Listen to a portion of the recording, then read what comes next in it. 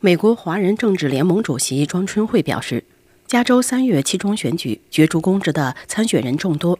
预计将是一场激烈的竞争，选举盛况可期，选民投票率也相对的会提高。联邦众议员选举中，在华人社区享有盛誉的赵美心争取连任二十七区联邦众议员，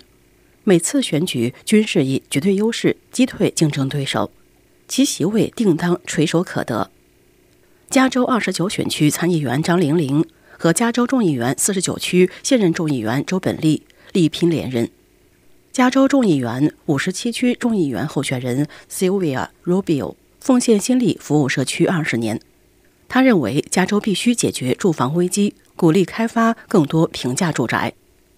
如斯密市现任市议员劳朱嘉怡和邓树灿，以及天普市现任市议员文尚臣、市议员威廉姆曼。由于初选报名无人挑战，将继续连任。政治联盟本次背书人选中有新参选的熟面孔出现，其中之一是丁延瑜 （Tony 丁）。丁延瑜来自上海，毕业于上海交通大学电脑系，来美修读获电脑硕士。蒙氏共有四名市议员候选人，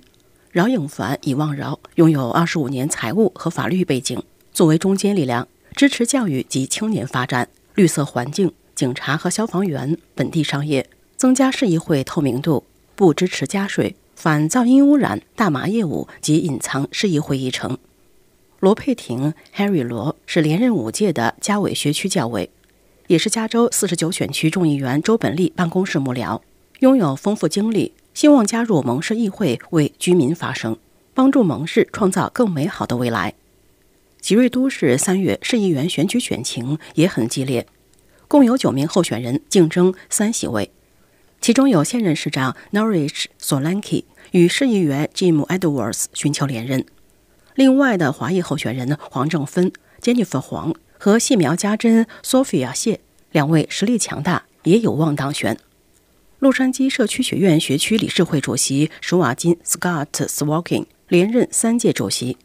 在任期间参与由洛杉矶市政府。洛杉矶联合学区及社区学院学区共同启动的洛杉矶学院承诺项目，而且在学生健康医保事业上做出贡献。